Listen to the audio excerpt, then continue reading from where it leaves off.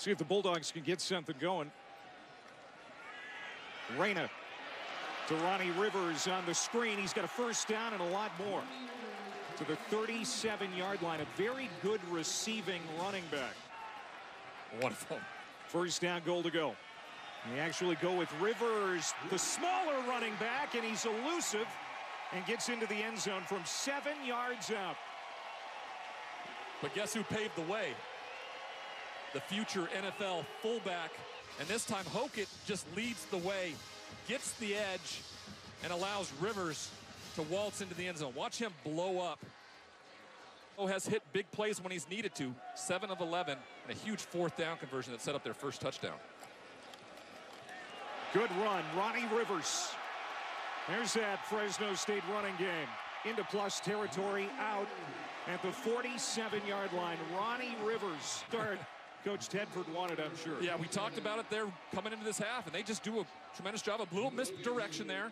Gets the linebackers to step one way and then get the block, and Morgan Logan Stewart has to run him down. See, neither team has turned it over tonight, and for Reyna, that was going to be a big key according to offensive coordinator Ryan Grubb. He's going to pitch it out to Rivers. Rivers with a lot of elbow room. First down and more inside the 20. Ronnie Rivers.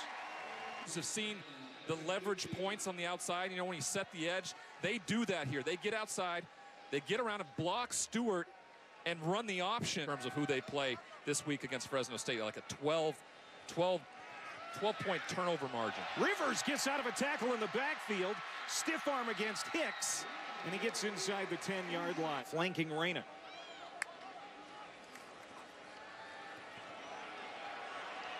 On first down and long, Rivers makes the catch, and he is twisted out of bounds by Jackson.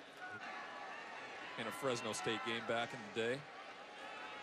Second down and one, Ronnie Rivers, touchdown, Bulldogs.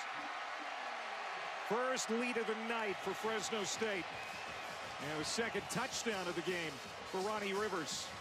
Sweeps that we talked about that Cropper does so well. Watch them do it here. They fake there, and then Rivers shakes the defender. How has he only gotten this many touches this year? Because he's he's electric.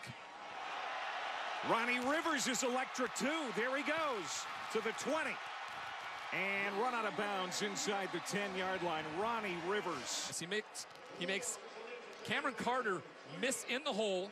And then at the top here, he makes Hawkins and Jalen Hicks chase from behind. Wow. Two examples of Logan Stewart and that defense being in the right spot. Sliding up his Reyna, he'll dump it off to the running back Rivers. Rivers still on his feet. And he gets to the outside and stops the clock with 29 seconds to go.